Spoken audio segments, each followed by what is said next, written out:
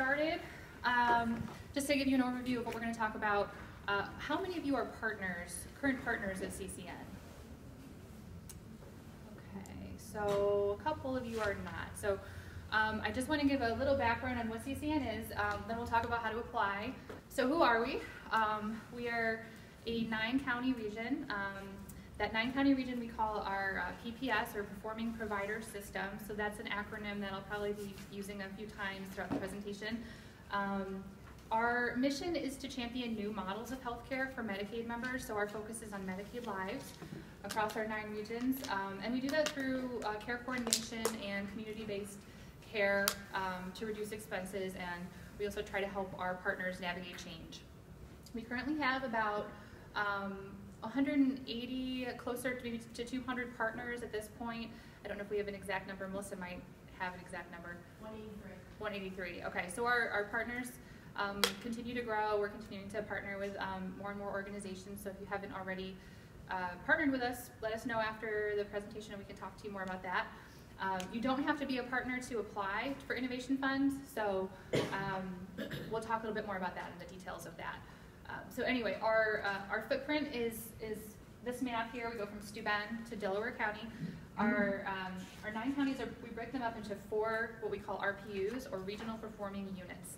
Um, the, the region that we're in here is the south, um, and then we've got the east, which is Delaware and Chenango, the north, which is Schuyler, Tompkins, and Cortland, and the west, which is Steuben and Chemung counties. Um, so, and Bob will talk a little bit more about how we dis uh, distribute our funds across the four RPUs, but in a nutshell, um, we break our PPS up into these four regions. So if your uh, organization is located in either Broome or Tioga County, you're technically a South partner, and if your organization spans multiple counties um, across our region, you might be in part in, in multiple RPUs. Um, so who are our partners? Uh, obviously health systems, um, we have uh, health homes, skilled nursing facilities, uh, FQHCs, behavioral health providers, um, and community-based organizations, which we refer to as CBOs. Um, those are just nonprofit organizations or community agencies like um, the American Civic Association, United Way, things like that, human service agencies. Okay, so how do we, how do you apply for innovation funds? Um, so this is a pro this is a funding um, pool pot of money that we've had for three years. Um, in your folders, you will have copies of the slides for today.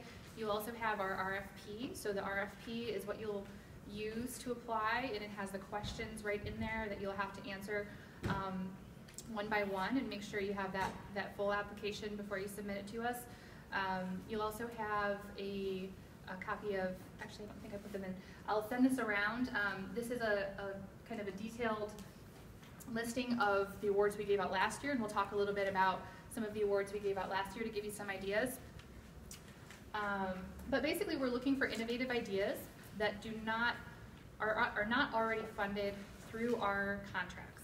Um, so if you have an idea that's going to improve access to care for Medicaid lives, or some other idea that's going to benefit Medicaid lives for the region, that's what we want to see.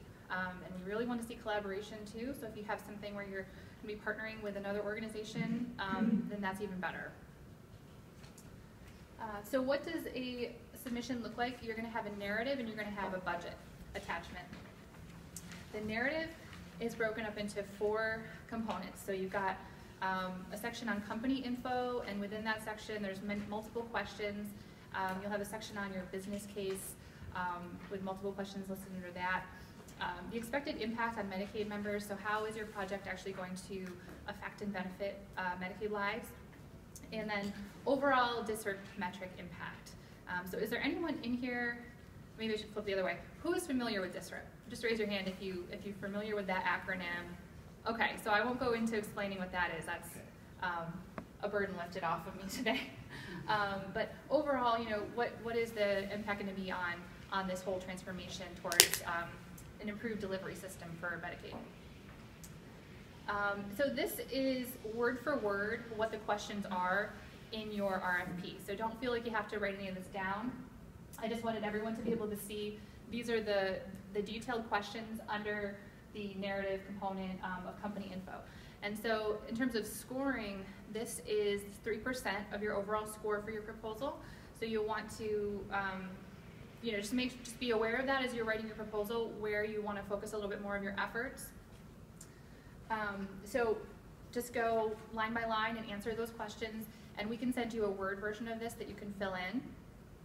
And then business case. So this is where you're going to talk about the the, the business proposal or your project that you're going to be uh, applying for. So uh, this is very, very much the meat of the, the proposal here. So um, you'll see down um, the fourth bullet point has the plans for sustainability post-care, uh, post-CCN funding. So this is a, a, a, piece of the proposal where uh, folks have gotten less points. So this is important um, that you will have a plan for sustaining this program beyond any grant that you were to receive. Um, and then uh, DSRIP alignment, as I mentioned earlier, how does your project overall align with DSRIP? And I think in the left-hand side of your folder, I've included all of CCN's metrics. Um, if you have questions on those metrics, you can let us know um, and we'll get answers for you. So that would be bullet point one. Um, community need. So this is really important. How do you know there's a need for your program?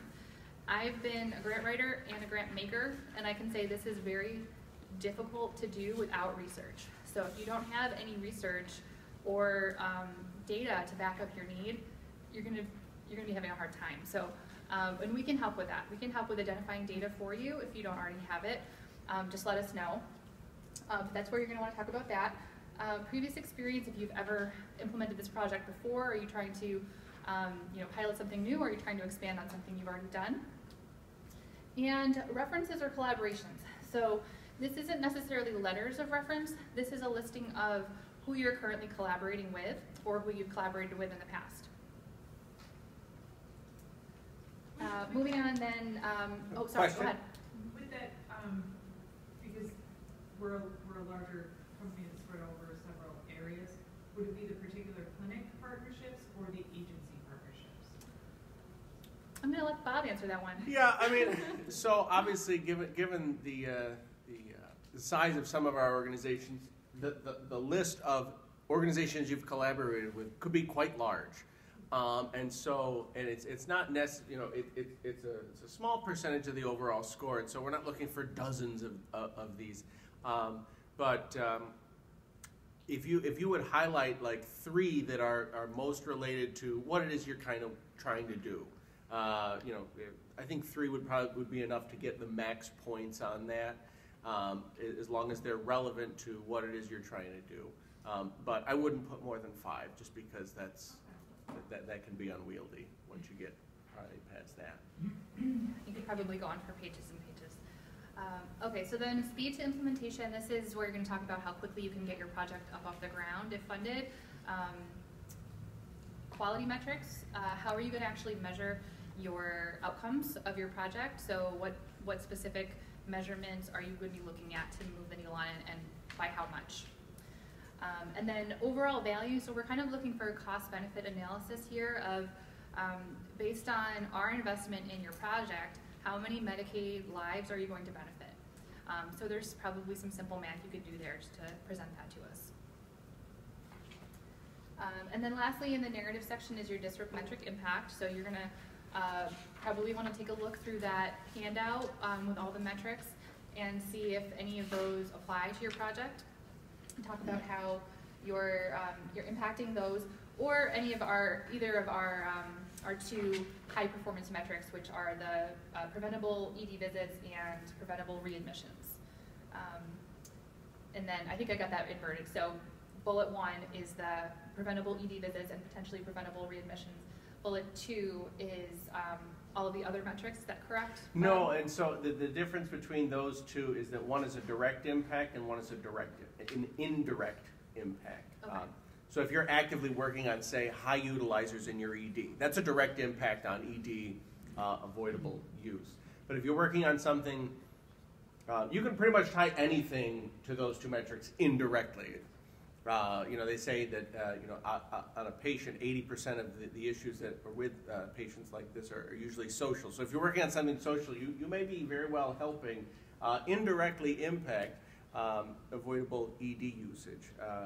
So, I mean, it, it, the, the difference there is direct versus indirect. Okay, and where would they use the rest of the other metrics? Would they be? So the rest of the other metrics um, would be best aligned. So the more that you can align the, if you go back a slide. Quality metrics used to measure impact. So the more that you can align those quality metrics with the metrics that we have, uh, and specifically, uh, there's an awful lot of information on, the, on, on this um, uh, metrics guide. Um, but the fourth column from the left is says performance stat, status, and it says P4P or P4R. So the more if, uh, the more you use P4P uh, alignment, uh, pay for performance. So that's if the PPS does well, that, that helps us draw down the funding from New York State. Um, versus P4R, that's just money we get as pay for reporting.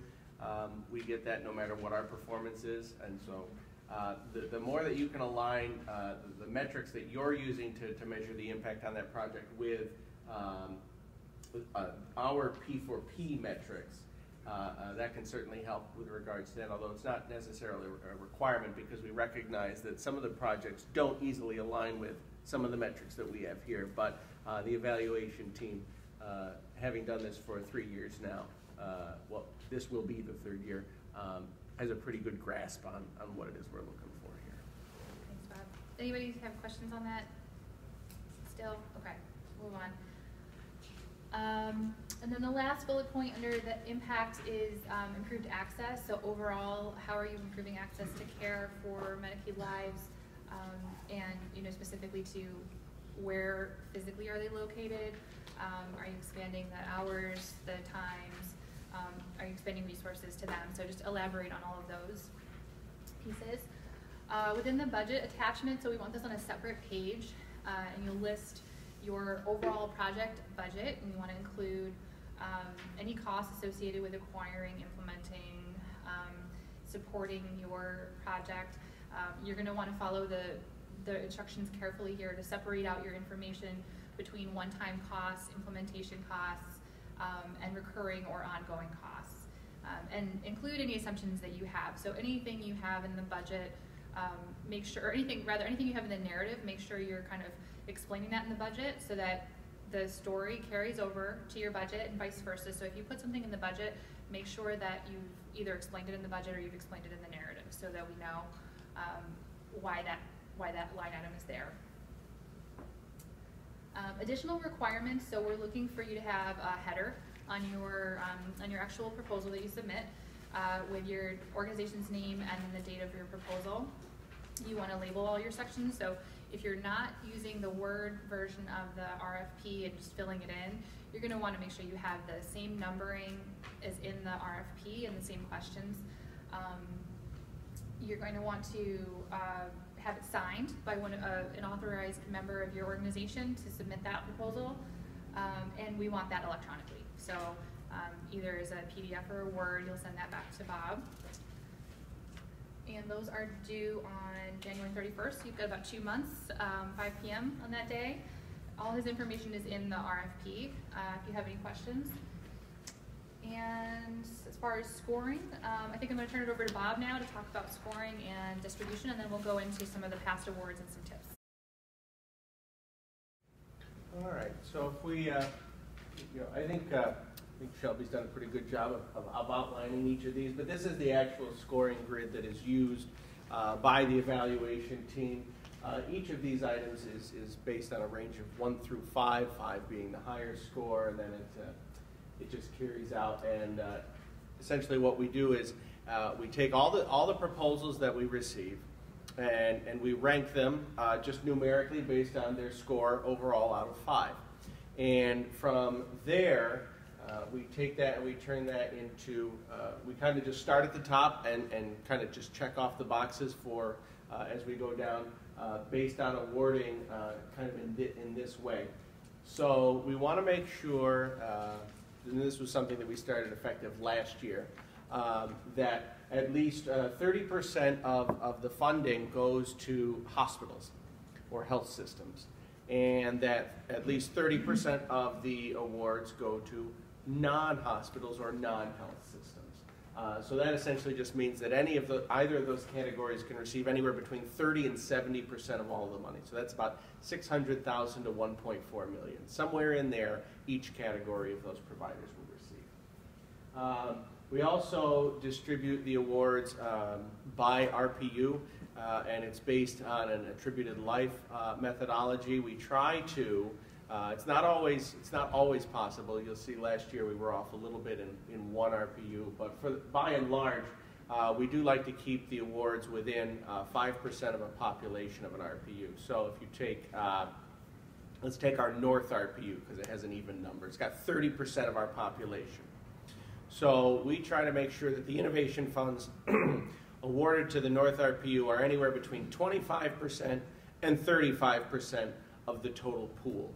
Now, what we don't do is we take is take that and then say 30% of that has to go to the hospitals in the north, and 30% has to go to the non-hospitals in the north, um, because the uh, hospital versus non-hospital is done PPS wide. So it's quite possible that in any one RPU, uh, there could be one of those types of partners that receives nothing, um, because that, that is managed at, a, at an RPU uh, at a PPS wide level. Um, we may, uh, depending on how uh, all of the ranking comes out and following these criteria, uh, it, it, may turn out that some projects may receive partial funding. Uh, now, we do recognize that if you've asked for $100,000 and you're awarded 10000 that's probably not going to help you at all um, in terms of, of implementing the project. And so we, uh, at CCN, we've got uh, a rule where we'll, if we do allow for partial funding, we'll do at least 75 percent. And, and, likely when that usually comes into play is as we get towards the final, uh, the last few awards, um, because there is a cap on the dollar amounts that we have available. Uh, we just we just try and make that work so that we can do as many awards as possible, um, and so we will do that. Uh, the other thing we will do, of course, and, and as Shelby uh, alluded to earlier in the presentation, uh, what, what we're not looking for is is essentially things that are currently covered by the contracts that we um, but that certainly doesn't mean that you can't have a proposal that is about expanding what is already going on with the projects. We received uh, several uh, proposals like that last year and did award some of those. Uh, so uh, it is not that uh, it can't be about the projects, but it can't be about what we're already doing with the project. So if you can expand on that in some way, And so uh, this year we do have just over two million dollars as it, as it uh, came out last year. We did uh, we did fully fund nine uh, proposals, and it came four thousand two hundred thirty-seven dollars shy of the two million. So we just uh, we just threw that into into this year. And so here you can see. Um, you know, earlier I alluded to the plus minus minus five percent. It kind of comes out to these numbers. So uh, you can expect that by RPU, uh, these are the dollars that, that will flow into each RPU, uh, of course, the minimums and the maximums. Uh, and then again, allusions to the, uh, the 30%, uh, and that's noted to be PPS wide here again. So if we look at the, the first two years of the program, so first year being 2016 and the second year being uh, 2017, um, you know, a lot of funds, a lot of proposals received, 23 and 25. Uh, a lot of funds requested, 7 million and, and 6 million. Uh, award rate is somewhere around 1 in 3. Uh, that, that tends to, seems to be uh, where they come in. Uh, you know, we've, we've awarded uh, proposals that have been, I believe, as low as oh, I think I think thirty thousand. I think might, might might be the low um, and as high as uh, over half a million. Uh, so it has it does range the gamut. Um, but uh, given that uh, you, you do have this information, um, uh, if you're in uh, if you're in the West and you ask for four hundred thousand dollars, it's it's not likely to get very far, just because of, of we want to follow these rules. However, again, based on on the way it falls out, you can see um, that we don't we, we try to follow it as best we can. Um, I'll, I'll, draw your attention to the bottom right corner and on this slide. Uh, if you look at the East RPU, just because of the way it fell out, we were unable to hit the 8%, and we ended up at 6%.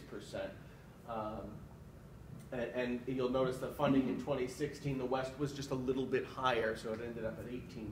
But uh, by and large, we are able to do a pretty good job of sticking within uh, in the parameters. Um, and again, there and above that is the uh, distribution by organization type, and so you'll see that both years we did uh, hit our targets on that.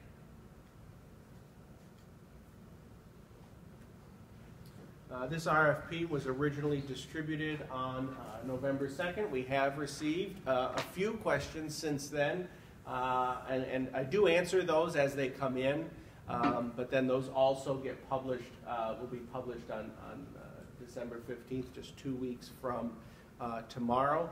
Uh, Any questions that are gathered from from this group today uh, will also be a part of that because uh, and I know we're videotaping it, and the and and that, that that will be available to, to, to all to see. We do put all of the questions in one place anyway, uh, mostly so that folks don't have to watch the entire video. But um, we will incorporate all those questions that we get today into that release on the 15th, and then, as Shelby said, Tuesday the 31st at 5 p.m.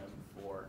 Um, the due date on those responses. We are, uh, we are expecting our independent uh, evaluation team uh, to put in a fair number of hours the week following uh, receipt of, of these proposals. Uh, we are actually targeting the February board meeting, uh, which is, I believe is 12 days late, no, 14 days later.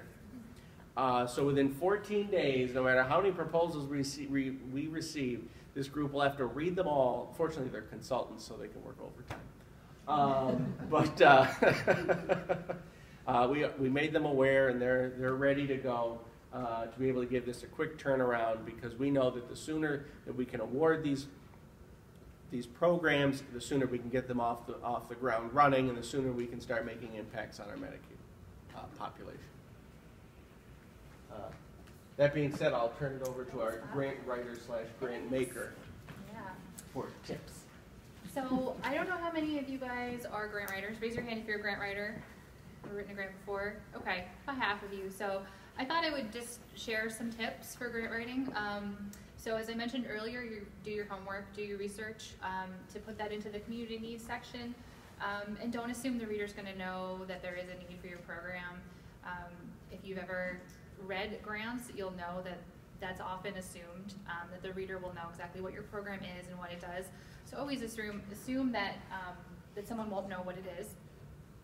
Um, we can help with data, as I mentioned earlier, and in your folder there is a uh, form that you can fill out and submit to us. I think those are due in a couple of weeks. I think December 15th is the deadline. Uh, but if you need any um, analytics uh, support, data support, just let us know what you need for your proposal and we'll get that back to you um, early January. Um, of course, we'll try to answer questions beyond that date, but um, we are trying to support as many as possible. So, yes. It seems as though this might be an online form as well. Yes, I think that um, we'll send. We can send that to you as a either PDF or Word. I'm not sure which version it is, um, so that you can fill it in. Yeah, I think some of them say like fill in text Yeah. here. Tap here. So, Yeah, Yeah. don't tap on it. Nothing's going to happen. It's just this is just regular paper. And if you are a partner already, you might have gotten an email about that. I believe um, Melissa, you, did you send that that out earlier this week? So if you are a partner, go back and see if you can um, access that. If not, we can send that to you.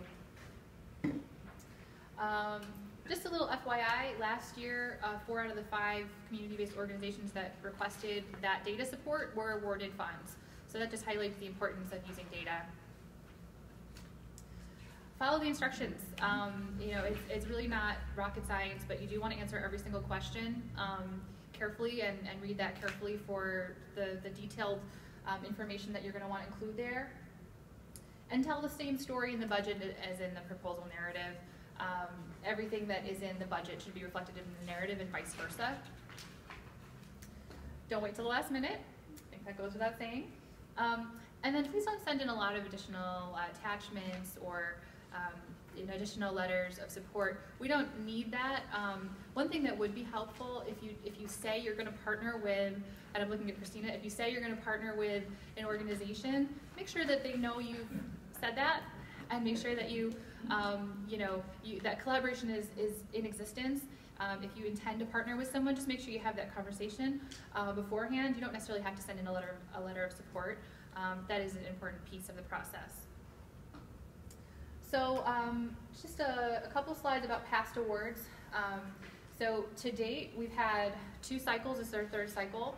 Uh, In 2016, we had 23 applicants, and in 2017, we had 25. Um, and this year, we'll probably get even more than that. Um, and as Bob mentioned, uh, actually, the announcement of the awards is probably going to be more like February.